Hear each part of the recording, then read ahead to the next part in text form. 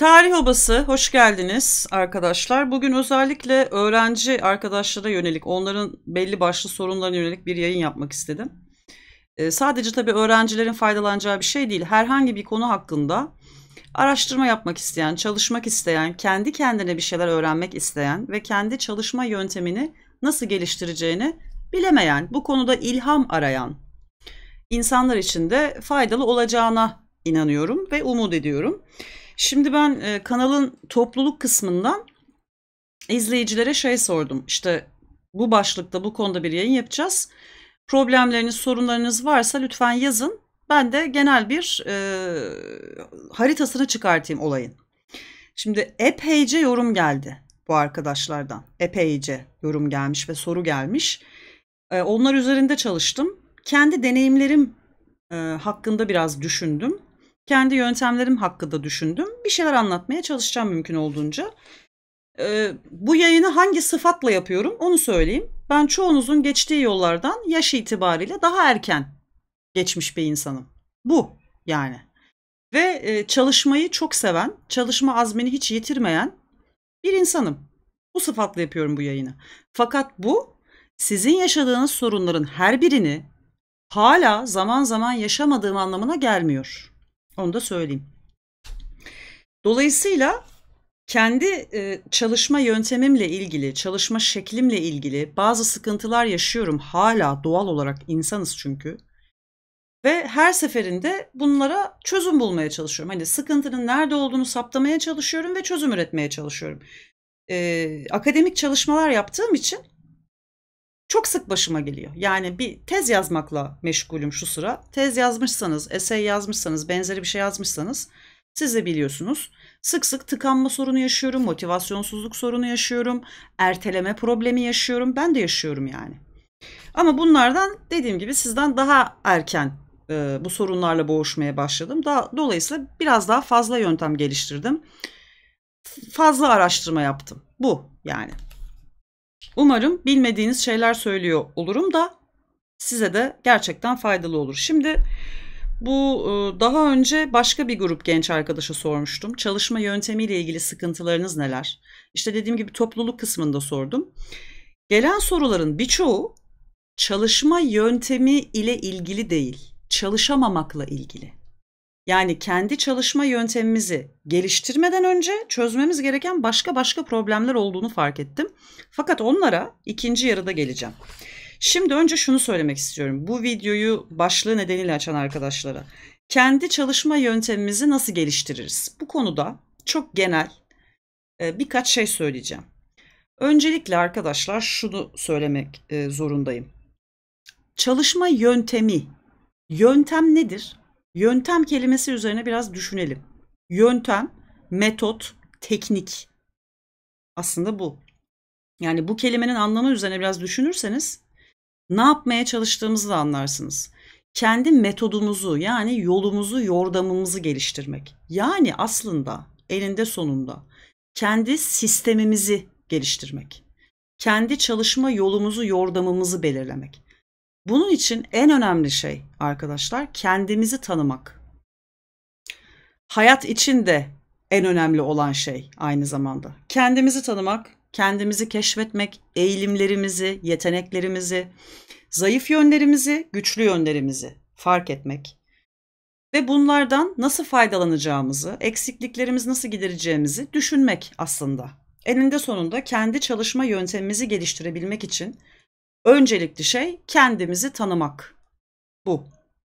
İyi tanımak ama kendimizi yani. Ee, bir başkasını gözlemliyor gibi kendimizi gözlemlemek. Ş- ve kendimize sürekli sorular sormak. Ben şimdi niye böyle davrandım? Bu fikir niye aklıma geldi? Neden böyle hissettim? Bu soruları kendimize sora sora çok sayıda bilgiye erişeceğiz kendimizle ilgili. Ee, bir de şu var. Kendi çalışma yöntemimizi geliştirmek aslında tam olarak kendimizden bağımsız bir şey değil. Çevremize de bağlı bir şey. Örneğin aileniz size gerekli ve yeterli çalışma ortamını sağlayabiliyor mu? Bu da çok önemli bir şey. Gerçekten sağlıklı bir ortamda çalışabiliyor musunuz? Sessizlik sizin için daha iyi ise yeterince sessizlik mevcut mu? Efendim müzikle çalışmak istiyorsanız doğru müzikleri dinliyor musunuz? Aileniz sizden sürekli bir şeyler isteyip sizi başka başka işlere mi koşuyor yoksa çalışmanız gerekliliğine saygı duyarak size yardımcı mı olmaya çalışıyor? E, dolayısıyla huzurlu olmanız gerekiyor. Huzurlu bir çalışma ortamınız olması gerekiyor ki çevrenizde sizi anlayan, size anlayış gösteren insanlar olması gerekiyor ki kendi çalışma yönteminizi geliştirebilin rahat rahat. Buna da ihtiyaç var yani. Eğer bu konuda özellikle ailenizin ve ikinci olarak da arkadaşlarınızın yanlış davranışlar sergilediğini düşünüyorsanız lütfen onları uyarın ve onlardan yardım isteyin, destek isteyin. Lütfen beni şu şu konularda rahat bırakın. Ben kendi çalışma yöntemimi geliştirmeye çalışıyorum. Çevre çok önemli bir faktör arkadaşlar. Üçüncü olarak belki de en önemli şey öğrenmeyi öğrenmek. Kendini tanımak, çevre bunları hallederken bir yandan öğrenmeyi öğrenmeyi halletmek gerekiyor. Senin öğrenme yöntemin ne? Senin öğrenme yöntemin neyse çalışma yöntemin de ona uygun olmalı. Öğrenme yöntemi nedir? Bazısı okur, öğrenir. Bazısı yazar, öğrenir. Bazısının görsel zekası daha iyidir. Bir şeyler görsel hale geldiği zaman daha iyi öğrenir. Bazısının duyusal zekası daha iyidir. Duyusal hafızası daha iyidir. E, işittiği zaman daha iyi öğrenir. İnsanlar bu konularda birbirinden farklıdır. Tamam mı? Dolayısıyla senin öğrenme yöntemin ne? Şunu düşün. Bugüne kadar en iyi öğrendiğini düşündüğün şey ne? Ve onu hangi yolla öğrendin? Eğer birkaç tane örnek bulabilirsen bunları yaz ve ortak noktalarını anlamaya çalış. Öğrenmeyi nasıl öğrendiğini e, oradan anlayabilirsin ve nasıl geliştireceğini de oradan anlayabilirsin. Evet. E, dördüncü olay da sürekli pratik yapmak arkadaşlar. Sürekli düzenli olarak pratik yapmak ve deneme yanılma yöntemlerini kullanmak. Kendi çalışma yöntemimizi geliştirmekte. Yazarak çalışmayı dene. Olmadı mı? Görselleştirerek çalışmayı dene. Olmadı mı? Birisinin sana konuyu okumasını rica et. Bak bakalım daha mı iyi öğreniyorsun? Ee, sürekli dene. Bir öyle dene, bir böyle dene. Bak bakalım en iyi nasıl öğreniyorsun. Belki bazı konuları görsel daha iyi öğreniyorsundur. Bazı konuları işitsel daha iyi öğreniyorsundur. Böyle de olabilir. İnsanda bunlardan bir tanesi çok baskın olacak, diğerleri hiç olmayacak diye bir şey yok ki. Yani. Dolayısıyla bu da yine aslında kendimizi tanımanın ve keşfetmenin e, gerektirdiği bir şey. Yine o bağlamda düşünmeliyiz. E, şunu söyleyeyim, olumsuz arkadaş çevresi de çok kötü. E, ge- gerek gelen sorularda, gerek, gerek yorumlarda şu çok var. Ben aslında hevesliyim, bir şeyler yapıyorum ama çevremdeki insanlar, özellikle arkadaşlarım ya çok zor, nasıl yapacağız falan gibi şeyler konuştukça ben kendimi kötü hissediyorum, benim de motivasyonum düşüyor, başarısızlık korkusuna geri dönüyorum diyorlar mesela. Olumsuz arkadaşlarınız varsa uzak durun. Başka bir şey demiyorum. Silin. Yahut aranızda böyle bir buzdan duvar varmış gibi hayal edin. Ondan gelen etki o duvara çarpıp geri dönsün. Böyle bir teknik var. Ben de zamanında bir başkasından öğrenmiştim. İşe yarıyor. Ee, bir başka nokta kendinizi lütfen kimseyle negatif bir biçimde kıyaslamayın. İnsanız doğamızda kendimizi başkalarıyla kıyaslamak var. Ama illa kıyaslayacaksanız şöyle kıyaslayın. O yaptıysa ben de yaparım. Dünyada bunu başarabilen bir insan varsa ben de başarabilirim. Ben de yapabilirim. Benim yöntemim farklı olabilir. Benim yolum, yordamım farklı olabilir ama demek ki ben de yapabilirim. Hani fakat lütfen olumsuz bir şekilde kıyaslamayın kimseyle kendinizi. Çünkü herkesin öğrenme biçimi farklı. Dolayısıyla ona uygun geliştirmesi gereken çalışma yöntemi de farklı. Birkaç pratik bilgi vereyim. Yani kendi çalışma yöntemimizi bunlar etrafında şekillendireceğiz esasen. Fakat dediğim gibi gelen sorular çalışma yöntemi geliştirmekten öte daha ciddi problemler olduğunu gösteriyor. O yüzden şimdilik bu meseleden bu kadar bahsedeceğim. Bunu geliştirerek belki yeni bir içerik yaparım. Ee, ne diyordum? Ne dedim en son hatırlamıyorum. Neyse. Ee, evet kendinizi kıyaslamayın dedim. Kendinizi kıyaslamayın arkadaşlar kimseyle lütfen. Şimdi gelen soru ve yorumlar incelendiğinde birden ciddileşeyim. Gençlerin ve genç kalanların ortak probleminin çalışmakla ilgili ortak problemlerinin belli başlı başlıklar altında toplanabildiğini görüyorum. Bunun ilki şu. Özgüven eksikliği. Bu gençlerin özgüvenini kim bu hale getirdiyse Allah belasını versin. Bir kere bunu söylemek zorundayım. Çok sinirleniyorum. Arkadaşların yorumlarına bakıyorsun. Herkesten özgüvensizlik akıyor. Yani o kadar belirgin bir şey ki o özgüvensizlik problemi. Arkadaşlar öncelikle özgüven eksikliğinizin lütfen üzerinden gelin. Bunun için benim yapabileceğim bir şey maalesef yok. Psikologlara danışın. Benim YouTube'da takip ettiğim iki adet psikolog var. Biri Beyhan Budak, biri Mehmet Başkak. Bu iki psikoloğun çok güzel içerikleri var. Onları izleyin, takip edin. Özgüvenle alakalı, motivasyonla alakalı çok güzel psikolojik bilgiler sunuyorlar. Tamam mı? Fakat çoğunuzun ortak sorunu yani e, farklı farklı sorunlardan bahsediyor bir sürü arkadaş. Hepsinde böyle ortak olarak özgüvensizlik problemi akıyor. Yapmayın. Bu meseleyi halletmek zorundasınız. İkincisi herkesle yine ortak olan ve çalışmayı engelleyen bir şey başarısızlık korkusu. Bazı arkadaşlarda tıbben anksiyete teşhisi konacak vaziyete kadar gelmiş bu.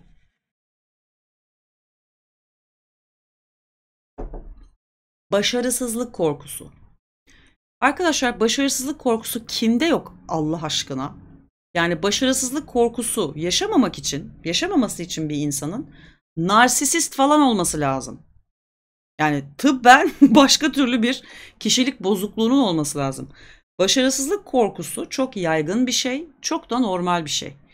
Fakat bunu hayatımızı yönetmesine izin vermemeliyiz. Şunu kabul etmeliyiz. Başarısızlık çok olağan bir şey. Çok doğal bir şey. Ve her başarısızlık aslında insana bir şey öğretir. Ee, yeni bir fırsatın kapısını açar. Tamam mı? Bakın bunları bu başlıklar altına topladım ki biraz da şunu anlatabilmek için. Bunlar bir bir size özgü, sizin şahsınıza özgü problemler değil. Binlerce kişi bunları yaşıyor.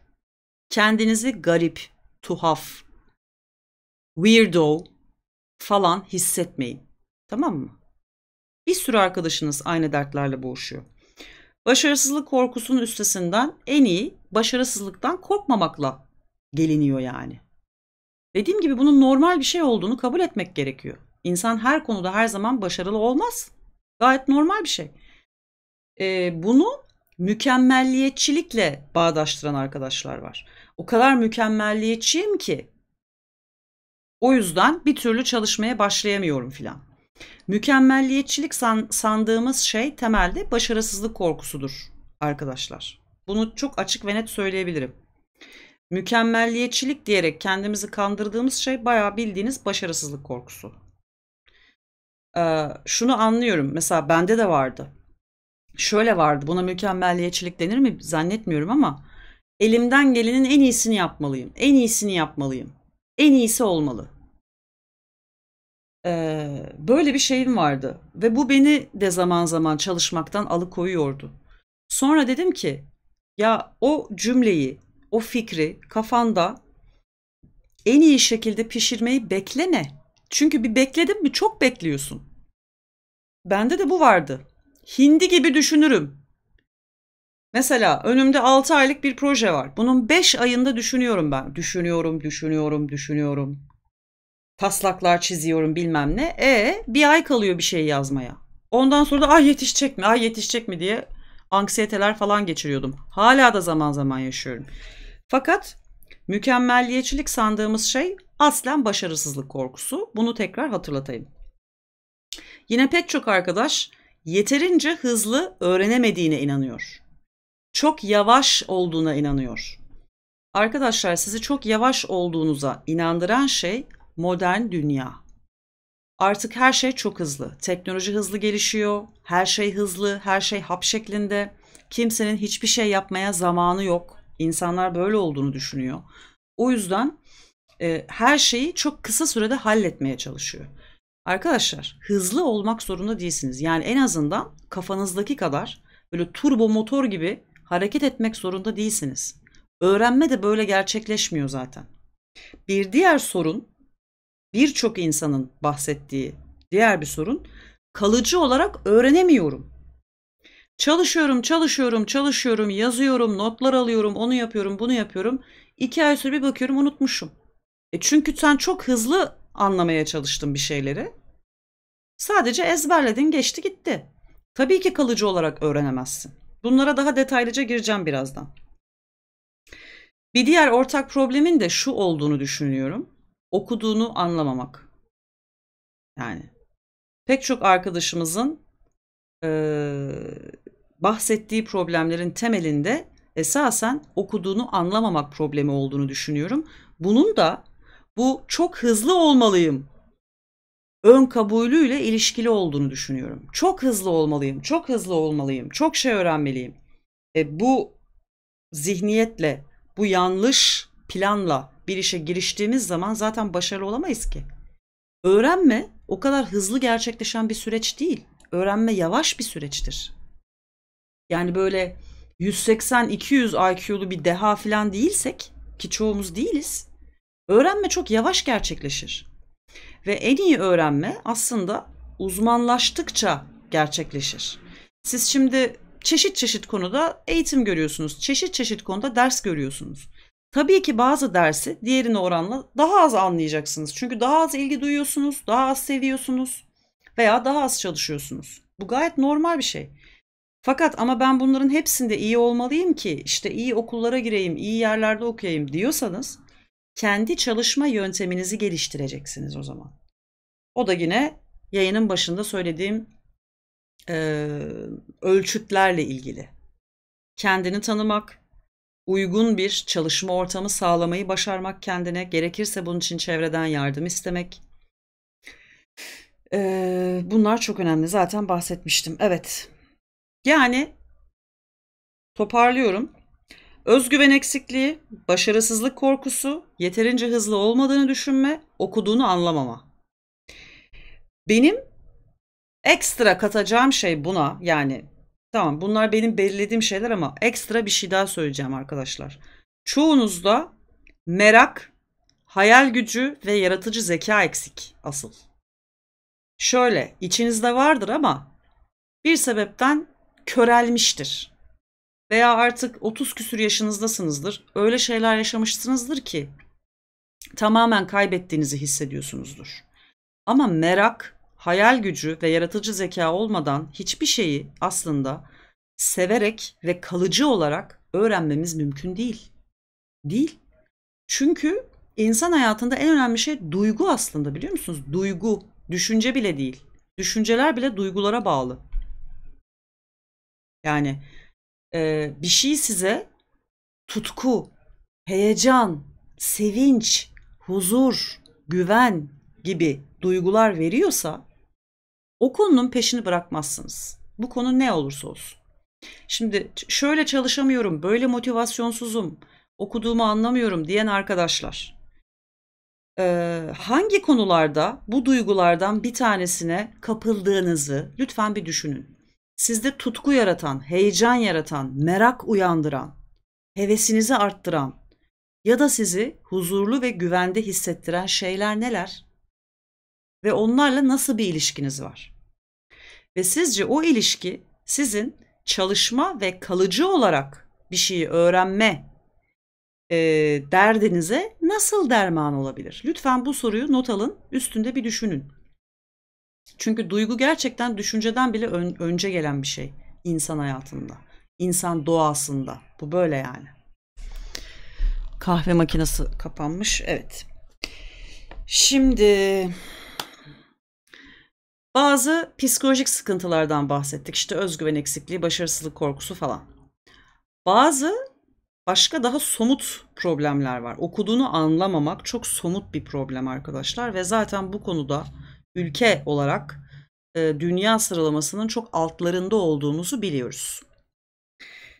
Okuduğunu anlamamaya sebep olan şey nedir? Çoğunuzda ben eminim roman, öykü, kurgu okuma alışkanlığı yok. Küçük yaşından itibaren düzenli olarak edebiyat tüketen bir insanın okuduğunu anlamaması mümkün değil. Başka bir tıbbi veya ruhsal sıkıntısı yoksa. Ana dilimizi çok iyi bir şekilde öğrenmedikçe okuduğumuzu anlamamız mümkün değil. Ana dilimizi en iyi şekilde annemizden öğrenmiyoruz çoğumuz.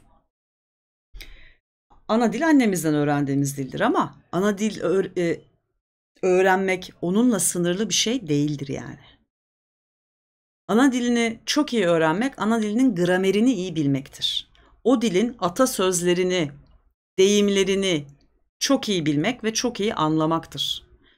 Okuma pratiğinizi arttırmak zorundasınız.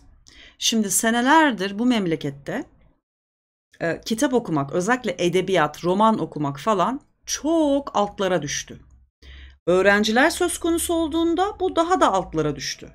Size işte 100 temel klasik eser falan tarzı bir takım listeler veriliyor. Onlar okumanız e, bekleniyor. Özetlerini çıkartıyorsunuz, derslere götürüyorsunuz bu. Yani eğer bu faydalı olsaydı biz okuduğunu anlamak konusunda bu kadar alt sıralarda olmazdık. Okuduğun kitabın özetini çıkarmak onu anlamana fayda sağlamaz. Hiçbir manası yoktur. Olay nedir biliyor musunuz? Okuma pratiğini geliştirmektir. Okuma pratiği en iyi romanlarla geliştirilir. Öyküler, şiirler hepsi bunlara dahil. Bol bol okuma pratiği yapmanızı tavsiye ve rica ediyorum. İkinci sırada sözlük kullanmalısınız. Her tür sözlük. Mutlaka Türkçe sözlüğe başvurmalısınız. Tamam mı? Yeni kelimeler, yeni kavramlar, yeni terimler öğrenmek düşünmenizi genişletir. Şimdi bir arkadaş genel kültürüm e, okuduğum şeyleri kavramama yetmiyor ne yapabilirim diyor. Genel kültür olarak adlandırdığımız şeyin arkadaşlar böyle bir geniş kapsamlı bakarsak ciddi bir yüzdesi gerçekten kelime bilmek. Kelime. Neden? Çünkü her kelime aslında bir duyguyu, bir düşünceyi, bir hareketi, bir durumu, oluşu bildiren sembol, simgeler bütünü yani. Tamam mı? Ne kadar çok kelime bilirsek o kadar geniş düşünebiliyoruz. Ne kadar çok kelime bilirsek okuduğumuzu o kadar iyi anlıyoruz. Bu kadar basit aslında yani. Ve de insanlar roman okumaya çalıştıkları zaman onu da hızlı okumaya çalışıyorlar. Yani ben kitap challenge'larını falan çok manasız ve yararsız buluyorum bu yüzden. Bu sene 100 kitap okuyacağım. Sen zaten iyi bir okursan okey. Kendine 100 kitap hedefi koy. Zaten okuduğunu anlıyorsun. Okuma pratiğin var hali hazırda okey. Ama yeni yeni okuma pratiği kazanacaksan kendine böyle challenge challenge yapma ya. Yani bu modern hayatta, modern dünyada her şey challenge oldu zaten. Kendimize challenge sürekli. Yani kendine meydan okumak güzeldir, zevklidir. Fakat bu kadar temel bir mesele de değil yani açıkçası. Yani kendinle rekabete yarışa girersin de bu kadar basit ve temel bir konuda girmemelisin. Yapman gereken şu. Kardeş ben bir roman alayım da okuma pratiği geliştireyim. Aç okumaya başla. Ya o gün canın bir sayfa okumak ister. Ertesi gün iki sayfa okumak ister. Bırak. Kendini bir rahat bırak. Cendereye sokma yani. Ay işte ayda beş roman okumalıyım. Ayda on roman okumalıyım. Okuma pratiği olmayan insan için bunların hiçbir manası yok. Hiçbir şey katmaz size. Sadece zafer hissi yaşatır. Hani böyle bilgisayar oyunları oynadığın oynarken siz düşman öldürüyorsunuz, level atlıyorsunuz falan böyle bir tatmin hissi geliyor ya. Onunla aynı duyguyu yaratır. Başka hiçbir işe yaramaz. Ya size bir şey katmaz. Sonra da niye kalıcı öğrenemiyorum? Çünkü bir şeyi yavaş yavaş sindire sindire öğrenmeyi bilmiyorsunuz ki. Öğrenme denen olayın çok hızlı cereyan etmesi gerektiğini zannediyorsunuz. Çünkü size hep böyle anlatılıyor. Sizden hep bu bekleniyor. Ee, ikinci olarak da sizi önce kendinizle sonra bütün dünya ile bir yarışa girmeye zorluyorlar ya. Hayır arkadaşlar yani yarışacaksanız bile bu şekilde lütfen yarışmayın. Kendinizi heba ederek, çöp haline getirerek lütfen bunu yapmayın. Ee, okuma pratiği olmayan arkadaşlar mutlaka okuma pratiği yani okuma alışkanlığı kazanmak zorunda. Bunun için tekrar döneceğim. Kimseyle kendinizi kıyaslamayın. O ayda 5 kitap okuyor. Ben bir tane anca okudum. Ne olmuş? Ne olmuş yani? Yavaş yavaş sindire sindire bilmediğiniz ana dilinizdeki kelimeler dahil. Ana dilinizdeki. Her kelimeyi biliyor musunuz ana dilinizde? Ana dilimiz sadece öz Türkçemizden ibaret değil. Bu dilin içerisinde bir sürü Arapça, Farsça, başka başka dillerden girmiş kelimeler de var. Bunları da bilmelisiniz. Ee, dediğim gibi atasözleri, deyimler tekrar ediyorum. Çok faydalıdır. Beyin egzersizi yapmak açısından çok faydalıdır. Açıklamalı atasözleri ve deyimler kitapları var. Alın, arada karıştırın. Nasıl diyeyim? Sudoku çözmek gibi ya. Bir atasözünün, bir deyimin ne anlama geldiğini öğrenmek, yemin ediyorum sudoku çözmek gibi. Satranç oynamak gibi. Beyninizde böyle farklı nöronlar arasında ilişki kurmasını sağlıyor sanki. Anlatabiliyor muyum yani? Neyse. Motivasyonsuzluk hemen hemen herkesin ciddi bir problemi. Motivasyonsuzluk konusunda başta bahsettiğim Beyhan Budak ve Mehmet Başkak hocaların çok iyi videoları var. Lütfen onları izleyin. Onlar psikolog. Ben ancak kendi deneyimimi aktarabilirim. Kendi deneyimim de şu. Ben şahsen sadece ve sadece neredeyse içten motive olan biriyim. Hani bazısına dışarıdan deniyor ki yapamazsın. O zaman o gaza geliyor daha iyi çalışıyor. Ben böyle oluyorum yani ne alaka? Senin böyle düşünmenle benim o işi gerçekten yapıp yapamayacağım arasında hiçbir ilişki yok ki. Yani ben senin düşüncenden bağımsız bir insanım. Dolayısıyla benim için kapı duvar yani. Veya tam aksine yaparsın, aslansın, kaplansın. Bu da nadiren işe yarar. Bazen böyle çok özgüvensizce bir işe girişirim yahut çok sonunu bilmediğim bir işe girişirim. Arkadaşlardan şey isterim. Ya bana bir aslansın, kaplansın çeksene falan isterim yani. Kendimi iyi hissettirir. Benim yine o işi yapıp yapamayacağımla alakası yoktur ama böyle bir iyi hissettirir kendimi. Olabilir. Ee, diğer sorunlar. Odaklanma, motivasyon, zaman yönetimi. Herkes bunu soruyor. Nasıl odaklanırız? Zaman yönetimini nasıl yaparız?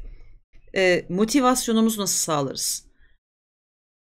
Benim bildiğim insanı en ciddi şekilde motive eden şey başarı ve tatmin hissi. Bir şeyi gerçekten yapabildiğinizi gördüğünüz zaman daha iyisini yapabileceğinize inancınız artıyor ve otomatikman motive oluyorsunuz. Bu herkes de böyle çalışıyor. Hemen hemen herkes de böyle çalışıyor. Bazen şöyle de oluyor. Aa yapabiliyormuşum. Erteleyeyim ya o zaman yarın yapayım. Şimdi birazdan da erteleme işine geleceğim.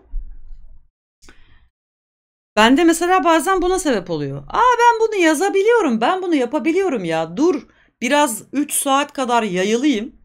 Sosyal medyalara gireyim, müzik dinleyeyim, pedikürümü manikürümü yapayım da ondan sonra devam ederim diyorum. Hop 10 saat geçmiş oluyor. Hayır, bu da nasıl bir manyaklık artık bilmiyorum. Neyse bazen böyle de oluyor insana. Fakat her halükarda ciddi bir odaklanma problemi olan arkadaşlar, ciddi bir motivasyonsuzluk problemi olan arkadaşlar gerçekten başarı ve tatmin duygusu bunları siliyor ortalıktan. Bu duyguyu nasıl sağlarsın? Mesela benim çok motivasyonsuz olduğumu söyleyemem ben açıkçası. Ama e, ben de zaman zaman motivasyon eksikliği hissetmiştim. En sonunda şöyle çıktım işin içinden. Ya motive olmak zorunda mıyım? Bir şeyi yapabilmek için zaten birçok psikolog da aynı şeyi söylüyor. Motive olmayı beklemeyin.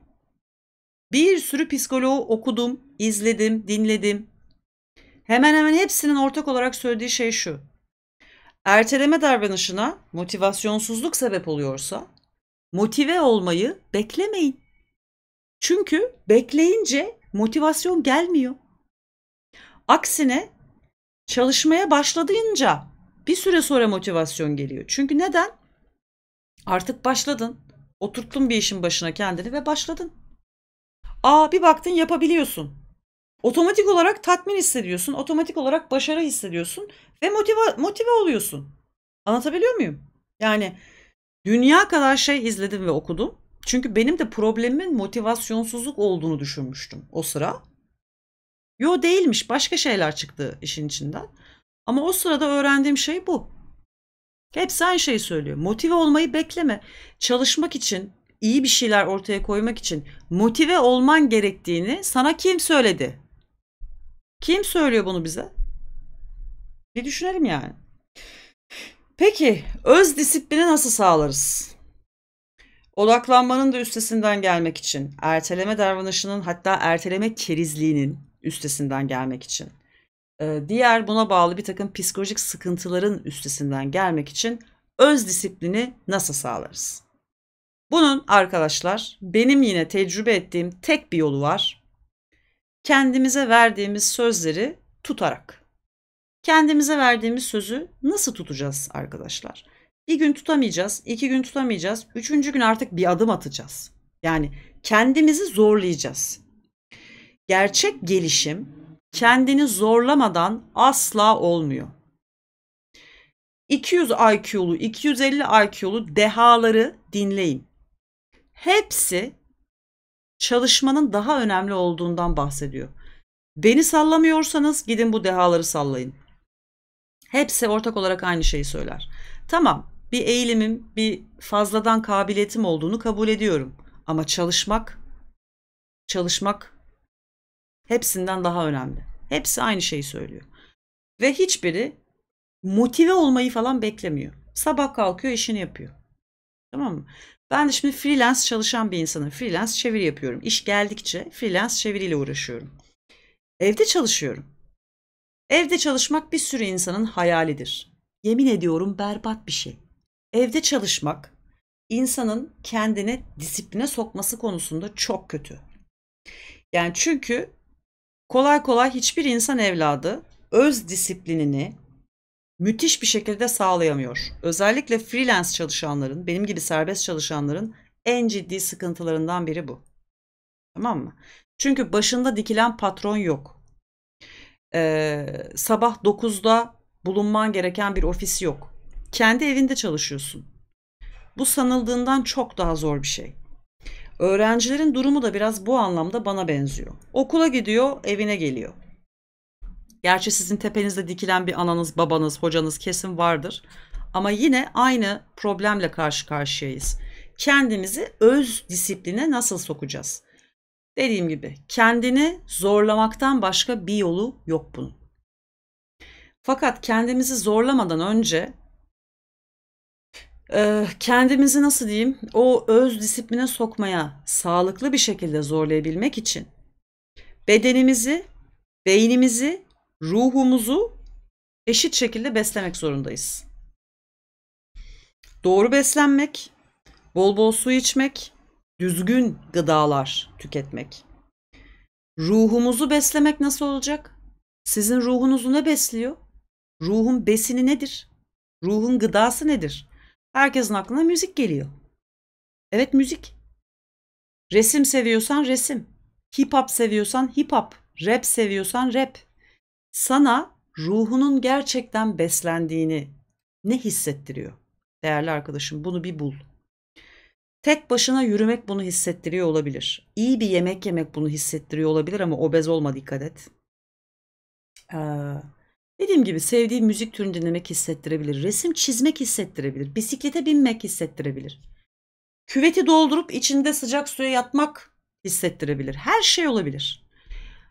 Seni rahatlamış, gevşemiş ve huzurlu hissettiren şey her neyse o senin ruhunun gıdası. Onu yapmaya devam et. Şimdi yine birçok genç arkadaş ister 15 yaşında olsun ister üniversitede 25 yaşında olsun. Çok kısa zaman içerisinde çok çalışması gerektiği için çalışmak dışında hemen hemen hiçbir şey yapmıyor. Ben de tez yazarken bunu tecrübe etmiştim daha önceki tezini yazarken. O tez bitene kadar yaşamak bana haram. Böyle oluyordum. O tez bitene kadar tez dışında ilgilendiğim her şey zaman kaybı olarak görüyordum arkadaşlar. Kötü beslendim. Ruhumu, beynimi, zihnimi hiçbir şeyimi beslemedim. Tezi yazdım, bitirdim. 10 kilo almıştım. Sinirlerim süper yıpranmıştı. Topuk dikenim oluşmuştu. Bilmem ne olmuştu. Bin tane problem yaşadım. Bu hiç doğru bir şey değil. Mutlaka bedeninizi besleyin. İyi beslenmek ve düzenli egzersiz. Hiçbir şey yapamıyorsak yürüyeceğiz. Yürümek hem bedene hem ruha hem beyne çok iyi geliyor. Ruhunuzu besleyeceksiniz, zihninizi besleyeceksiniz. Entelektüel haz almak diye bir şey vardır. O da şudur. Belli türde bilgileri öğrendiğiniz zaman zevk alırsınız. Böyle beyninizde aa şu an haz alıyorum, haz alıyorum hissi oluşur. Nasıl anlatılır bu bilmiyorum yani. Çoğunuz farklı şekillerde bunu deneyimliyorsunuzdur ama. Lütfen dersler dışında bu hissi size yaşatan şey her neyse onunla da ilgilenin. Tamam mı? Lütfen. Ben mesela psikoloji okumayı çok seviyorum. Benim ana konum tarih. Çok uzun süre mesela bir makale yazacağım, bir tez yazacağım. Çok uzun süre sadece tarihle muhatap oluyorum. Tamam mı? Ayakları çok yere basan, çok bilimsel, çok gerçekçi bir şey çıkarmak zorundayım. Dolayısıyla çok konsantre bir şekilde o günleri ona harcıyorum. O iş bitiyor. Ben var ya tarih marih görmek istemiyorum bir süre. Bıkmış oluyorum. Sonrasında ya kendimi romanlara veriyorum ya psikolojiye veriyorum. Böylelikle ana konumdan zihnim uzaklaşmış oluyor. Ferahlıyor, rahatlıyor. Can sıkıntım dağılıp gidiyor. Size de aynını öneririm. Artık her gün mü yaparsınız, haftada bir mi yaparsınız, üç günde bir mi yaparsınız, ihtiyacınız neyse ona göre ee, şey yapın. Bir şekilde beyninizi besleyen yani size o bahsettiğim entelektüel hazzı yaşatan şey her neyse o konuyla ilgili ya okuyun ya dinleyin ya izleyin mutlaka bir şey yapın. Ben son dönem mesela işte bir 3 aydır falan yüzmeye başladım işte bir havuza gidiyorum yüzüyorum. Ay bir sevdim bir sevdim. Benim yeni entelektüel hazım olimpiyat oyunlarında e, oyunlarını olimpiyatları aman yüzme olimpiyatlarını izlemek. 5 dakikalık 10 dakikalık videolar açıyorum. O bende mesela entelektüel bir haz yaratıyor. Ne alaka diyebilirsiniz. Yaratıyor. O hissi alıyorum. Onların nasıl yüzdüğünü izleye izleye bir şey öğrendiğimi hissediyorum demek ki. Şimdi öğrenme nasıl bir süreç? Bir bilinç yüzeyinde aa ben bunu öğrendim, kavradım, bunu hissediyoruz. Bir de aslında bilinç altında başka şeyler oluyor. Onun da ne olduğunu bilmiyoruz. E, fakat öğrendiğimiz şey bize haz veriyor. Şimdi ben o yüzme videolarına düştüm mesela. İzliyorum izliyorum dediğim o hazzı alıyorum. Acaba beynimin arkasında nasıl bir süreç işliyor? Bir süre sonra oradan öğrendiğim bilgiyi kesin bir yerlerde kullanacak o beyin. Sizde de aynısı oluyor. Herkes de aynısı oluyor. Anlatabiliyor muyum? Yani ruhu, beyni ve bedeni beslemek boş zaman, zaman kaybı değildir. Ve eninde sonunda aslında sizin çalışma veriminizi artırır. Değerli arkadaşlar, lütfen bunları ciddiye alın. Burada bırakıyorum. İkinci bölüme az sonra geçeceğiz.